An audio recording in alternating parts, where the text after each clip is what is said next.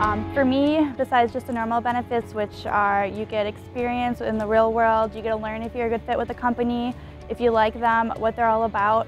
I also, because I was a corporate intern, I got to travel different departments, so I got to learn about the insurance industry, which is something I had no idea about beforehand.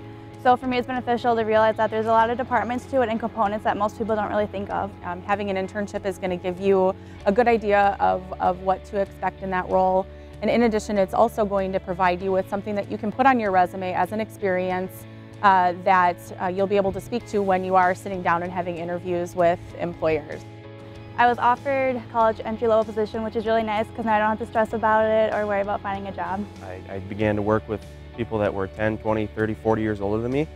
Uh, so I grew up pretty quick. Uh, so that that piece right there, I would say, guided me uh, into the into the career full time. I believe that internships provide a real world experience. Um, outside of the classroom, there's only so much you can learn uh, from the books and from, from your professors unless you get out in the real world. It's tough to see what, it, what it's like. Being an intern and having my classes, uh, I really am able to kind of cross-reference the two.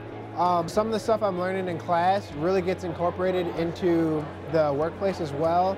Uh, Nestle is very high on um, TQM, which is Total Quality Management.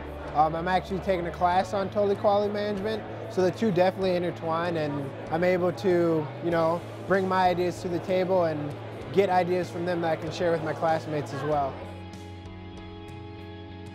Come in, be excited, be on time, um, you know, take notes, ask lots of questions, uh, be enthusiastic about the projects that they might be given depending on, on the area that you're looking for, um, and, and, just close connection and, and with the people that they're working with. One of the biggest things that we expect from the interns, passion to learn um, and dedication. I'd recommend taking on an internship right away from freshman year all the way up through your till you graduate. That's probably the best way to try it out first before just assuming that's exactly what you want to do.